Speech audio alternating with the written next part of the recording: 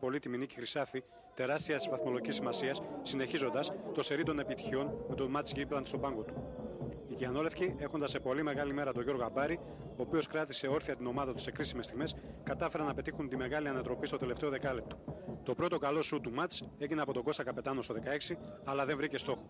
Ο Πανηλιακός συνέχισε την πίεση και στο 26 ο Μάρης θα περάσει την κάθετη παλιά στο Θωμαίδη. Αυτός απέφυγε τους αμυντικούς του Ηρακλή, όμως στο διαγώνιο σουτ που επιχείρησε, ο Αμπάρης ήταν σε ετοιμότητα. Στην εκνοή του ημιχρόνου, μετά από παλιά του Βίντρα, ο Δερμιτζόγλου ξέφυγε, έβγαλε τη σέντρα προς τον Μαρκορά, όμως το σουτ του Νοτιοαμερικάνου απεσόβησε ο Αμπάρης, διώχνοντας την μπάλα σε κόρνερ. Πουριόζο μπήκε ο Πανηλιακός στο δεύτερο ημίχρονο, κάνοντας ένα καταπληκτικό 20 λεπτό μεταξύ 55-75, απέναντι σε έναν οθρό και ασύνδετο Ηρακλή.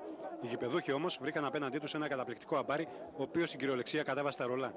Το διάστημα μεταξύ 60-62 ήταν φωτιά για τους γηπεδούχους, καθώς τρεις παίκτες του Πανηλιακού, η Δερμιτζόγλου, Τσιόλη, στο Μαίδη, εισάριθμε φορές βρέθηκαν απέναντι από τον Αμπάρι, αλλά έπεσαν θύματα των αποκρούσεων του νεαρού πορτιέρο τον Κιανόλευκο.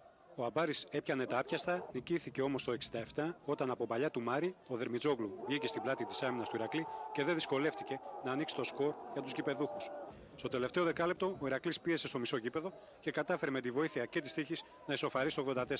Ο Φοφόγκα πήρε τις κόντρες, έβγαλε την παράλληλη σέντρα με στόχο το Μαχλά, όμως ο Βίντρα, στην προσπάθειά του να απομακρύνει την μπάλα, την έστειλε στα δίκτυα της ομάδα του. Από εκεί και πέρα μέτρησε η εμπειρία με τους παίκτες του Ηρακλή να εκμεταλλεύονται πλήρως τη σύγχυση που επικρατούσε στην ομάδα του πύργου. Έτσι φτάσαμε στο 87, όταν μετά από προσπάθεια του Μουράτη, ο οποίος άλλαξε την μπάλα με τον Δρούγα, ο Μαχλάς την έστρωσε στον Εμπεγλέρα και ο τελευταίος με φοβερό δεξί βολέ την έστειλε στο παραθυράκι του Κουτσόπουλου, δίνοντας τους τρεις χρυσούς βαθμούς στον Ηρακλή.